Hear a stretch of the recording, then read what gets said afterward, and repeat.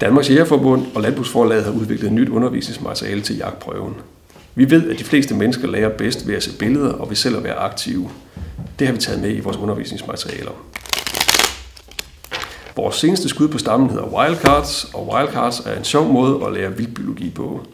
Wildcards minder i princippet om de bilkort, jeg spillede, da jeg var dreng. Nu har vi bare udskiftet tophastighed og cylinder med vægt og med vingefang, antal unger og den slags ting.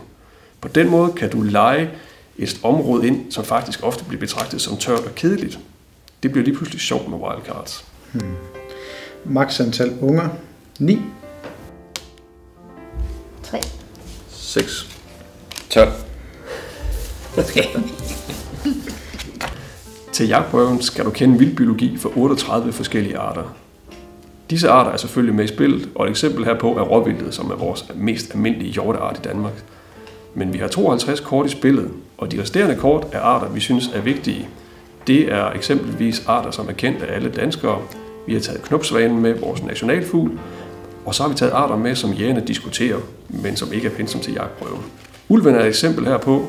Du skal ikke vide noget om ulvens vildbiologi til jagtprøven, men øh, ude i jagthytterne er den debatteret meget ofte, og ved at bruge wildcards kan du være med i diskussionen. Du kan også bruge wildcards til at lære om de helt elementære sammenhænge inden for vildbiologien.